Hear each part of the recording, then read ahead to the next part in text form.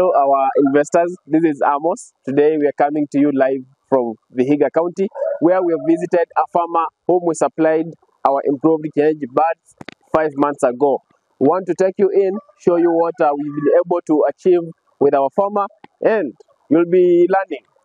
Welcome as I take you into our farmer site. Uh, always there's what we call biosecurity. Whenever you want to go into uh, any chicken coop, you have to disinfect. This is our disinfection point so that in case we have any uh, diseases that uh, we've come along, we, have to, to do the disinfection.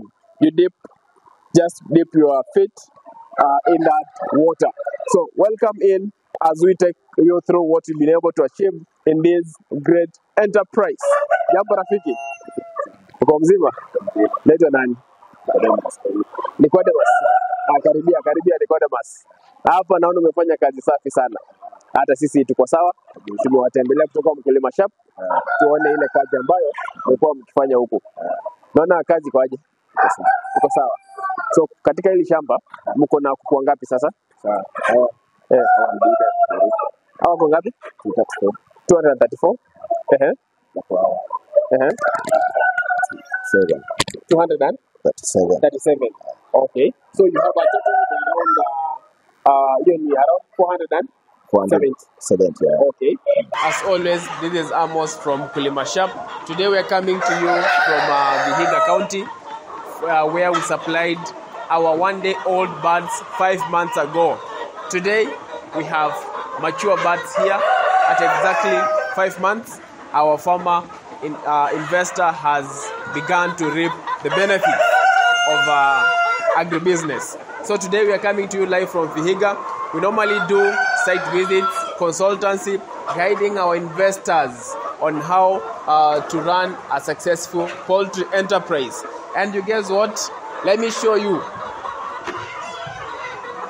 This is an egg that we've just collected. Another egg. Our farmer in the next few weeks will be hitting around 85% production because at exactly five months our birds have started bearing fruits. Very heavy birds. So sisi nataka leo tuambie uh, challenge moja tu Ah. ile ambayo umepitia hapa. Ni challenge gani ambayo unapitia katika? Hapa kitu yenye huwa niliambia ni chakula tuseme kama imeisha, Ehe, chakula kama imeisha, chakula tu. Lakini mambo mengine iko sawa, mambo mengine iko sawa. Ushaanza kupata mai kutoka kwa kuku yako? Uh, Okay. Yes. Aha. Okay. Vizuri sana. So sisi leo tuone ni shida gani ambayo unaweza unaweza kuwa umekumbana nayo, tuone namna ya kuitatua. Namna hiyo. So, as we always promise you, after supplying you with uh, our improved Kienyeji birds, we normally do follow-ups.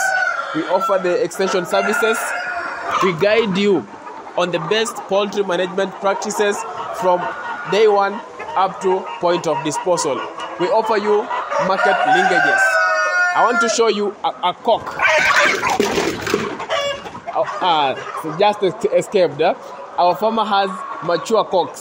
A cock here is weighing approximately 4 kgs. We have about 250 birds which we want to dispose. Very heavy cocks. You can see them here. So we'll show you the compartment which has about 250 cocks which are ready for disposal. You can use them for breeding. They're on the other side. Let me just show you. Yeah. This other side, all of it, it comprises of cocks that we want to dispose, ready for market. If you want to enjoy meat, if you want to enjoy uh, with your family tasty kienyeji birds, well, give us a call. If you want to do breeding, as you can see, our birds are ready for breeding. Give us a call, we'll connect you to our investor, and you'll be able to get these birds. So, at Mkulima Sharp, we, we promise and deliver. Thank you so much for following us all through the journey. Thank you.